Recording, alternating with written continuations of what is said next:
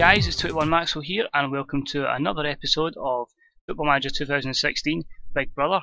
Who goes? You guys decide. Last week we had a disappointing defeat against Liverpool which put everyone up for elimination and of course you guys voted for David De Gea. Great, thanks. Cheers, appreciate it.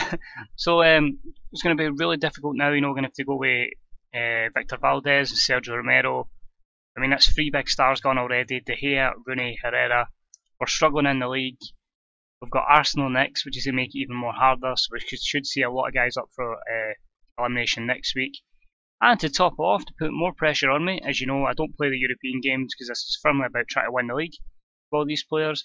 And the assistant manager, Mr. Ryan Giggs, got us eliminated from the Champions League against Monaco, so we're in the Europa League. So that's going to be fun um, in terms of job uh, security. So how long this series lasts remains to be seen, but we'll try and get away with doing as good as possible. But As I say, Arsenal are the visitors today. After this, Southampton away, another difficult tie, before an easier kind of run where we hopefully should keep as many players as possible.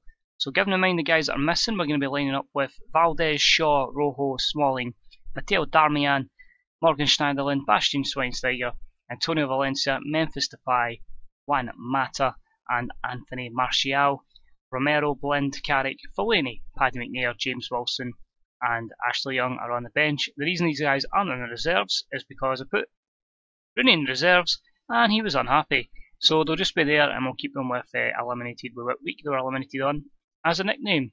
So we'll drill right into the match. We'll see who becomes available going forward for elimination. Um, hopefully I can keep as many of the senior players as possible I think we're going to slowly but surely have to bring some of the youth players into the team. So interesting to see how Arsenal line up. Hopefully they're missing a few players, although I doubt it. 74, they've won two, drawn at one. To line up Cech, Monreal, Mertesacker, Koscielny, Bellerin, Coquelin, Aaron Ramsey, Alexis Sanchez, Mesut Ozil, Alex Oxlade-Chamberlain and Theo Walcott. So the only player I would say that's really missing is probably going to be uh, Olivier Giroud. So we won't go with Giggsy because Giggsy doesn't have the greatest stats for that. Albert looks like he could be a shout. In fact, Gordon Joyce looks decent. Nicky Butt looks okay. Uh, I think we'll use our goalkeeping coach because he's got the best attributes for that. So we'll just say to them, passionately, I expect a win. So uh, big pressure. It's the first start of the season for Victor Valdés. He's going to be number one until he gets eliminated, uh, or until injury or just poor form means we have to go with Sergio Romero. But hopefully we get a good positive performance here, try and secure as many people going forward because already losing Herrera is a big loss. Rooney is a big loss in FM, maybe not in real life. And uh, in David De Gea is a massive loss, an absolutely massive loss. But that is the challenge know what, it'll make this really difficult. Let's see how poor a Man United side uh, we can win the league with. Here's Alexis, good save from Victor Valdés. As he hopes to keep a clean sheet. Remember, guys, the rules are for goalkeeper and defender, if you keep a clean sheet, you're immune from elimination. And if you play in midfield or up front, if you score or assist a goal, you're also immune. The other people that will be immune will be the two guys who are injured at the moment, which is Phil Jones and Nick So there's Chamberlain. Another good save there for Victor Valdés. No fallouts here. He's he's going to be definitely hoping to impress and actually make us uh, a chance in a Manchester United jersey, which he doesn't seem to be getting in real life and doesn't look like is going to happen anytime soon. Uh, it's a bizarre situation, definitely, but uh, just make it what you can. Anyway, here's Schneiderlin. He's got Luke Shaw bombing forward. Luke Shaw, ball in the box. Antonio Valencia and it's a good block there from Nacho Monreal. Mata plays it in and Petr gathers with ease. So a pretty drab first half if I'm honest. We'll have more of the ball because we're controlling the play. But I wouldn't say MD's completely standing out. There's no great performer. Um, in the clear-cut chances, you'd definitely actually say Arsenal have probably had more of the match. But here's Chris Smalling. Plays it to Antonio Valencia while he take it for a run. Not he plays it into Juan Mata. Mata back to Morgan Schneiderlin who looks for Memphis. Intercepted. Could this be an Arsenal counter attack? Marcos Rojo says no. Valencia's a very end to end, very, very end to end with chances either side. Valencia ball in, Anthony Martial, and he's got to bury that. He could have saved himself, he could have saved Antonio Valencia, but instead it remains goalless. Here's Oxlade Chamberlain, Monreal against Matteo Darmian. They retain the possession with Arteta, who's come on for the injured Coquelin, and Oxlade Chamberlain, and he balloons it over the bar. So still nil nil. Pretty poor performances from a few guys there. I think Bastian's been very average. Uh, same for Anthony Martial. And can we launch a quick counter attack here? Victor Valdés, what can you do with your distribution? It's a long ball forward. And that's going to be swept up by the Arsenal defence and cleared again. So they're pushing on again. Walcott's going to have pace here. A mistake from Rojo. And how crucial could that mistake be from Marcos Rojo? He has pretty much cost himself, Chris Smalling, Darmian and Shaw and Valdés immunity. And it's an easy finish for Walcott. Very disappointing there. And Daley Blind must be sitting on the bench, absolutely kicking himself, wondering how the hell Marcos Rojo has been selected ahead of him. So pretty poor there for Marcos Rojo. Hopefully doesn't do that at Sporting Kansas City because I've just signed him as a designated player. Uh, fair enough, he is 33 in that save, but poor at the moment. We're already going to go desperate and Martial is going to be replaced by James Wilson. So one thing we can already tell you is Martial will be up for elimination next week. He'll be part of the straw. But can some of the other guys save themselves? Even the defence now pretty much need to bomb forward, need to try and score to give themselves any chance of staying And The fact that we're going to have one win in a couple of games isn't good. It's massive pressure on me before we even really get going and we haven't really got any good players that are, are no good players, but world class players that could dig us out this hole. Especially with the ruling I've made that I'm not allowed to sign MD and I have to rely on the youth team.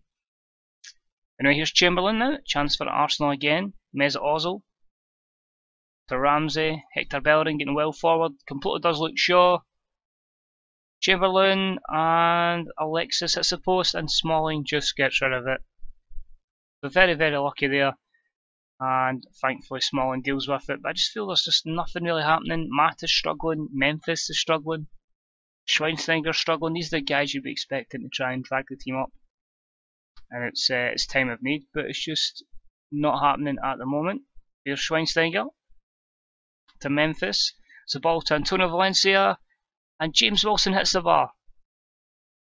Absolutely no luck if James Wilson's hitting the bar from there. A great opportunity for him and it looks like um, Arsenal are going to break away. Walcott's in, good save, and somehow we hold on, or have we? Oxlade Chamberlain, Bellerin, they're queuing up here, and Victor Valdés with a spectacular save there. Couple of guys struggling with fatigue means Juan Mata's coming off, and he will be up for elimination, as is going to be Memphis as well. We're using our free subs here.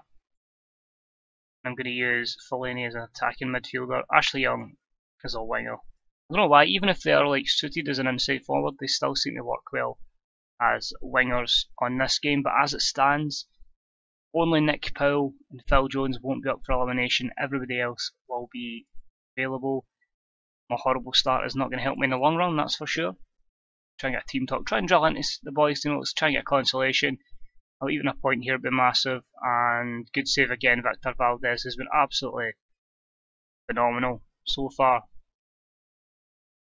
He's returned to the first team, but you have to think if this is like a boring nil-nil, if it isn't for a stupid mistake from Marcos Rojo, even Mike Smalling's playing really, really well. Good standard 8.1 performance. Unfortunately, nobody else is, but Ashley Young with the ball in, Smalling, and Wilson and somehow, someway, Chris Smalling has managed to save himself with that flick on there. The ball in from Ashley Young. Smalling wins the header, and it's James Wilson, the back post, volleying it into the back of the net. That means that Chris Smalling with 9.0, absolutely crucial. I was worried, you know, when I seen the high rating, I'm like, folk might look to eliminate him, but he saved his bacon with that assist. That's fine. As I say, defenders can save themselves with assists and goals as well. But Wilson for a chance for Ashley Young. And he has to dive. Why dive, Ashley? Stay on your feet, son. Schneiderlin to Schweinsteiger. Fellaini. James Wilson. We could have had a superstar born there. But it finishes 1 1. I think, given the squad we've got, that's not too bad. But we're really going to have to start turning these draws into wins. And the only people that will survive going into next week will be Mike Small and Chris Small, um, James Wilson, and the two injured parties. But not looking good so far. I'm just going to quickly sim through these to see the results, and we've got an idea of what position we're in going forward for next week's episode, which is against, as I say, Southampton. So before a couple of other teams play, we're sitting in 11th place, but we really need to start racking up the wins. And hopefully we do. So that's it for this episode, guys. As I say, you can vote for anyone apart from Chris Smalling and James Wilson. We'll have the straw poll in the comments section below. That being said, guys, if you enjoyed the episode, hit that like button. If you've got any comments on the on the series so far, let me know how you think I can improve it. Even let me know who you voted for. It's always intriguing to know who's who's trying to screw me over. But I mean, I deeply appreciate it, guys. Thank you as always for watching, and I'll see you next week for Southampton away. Bye bye.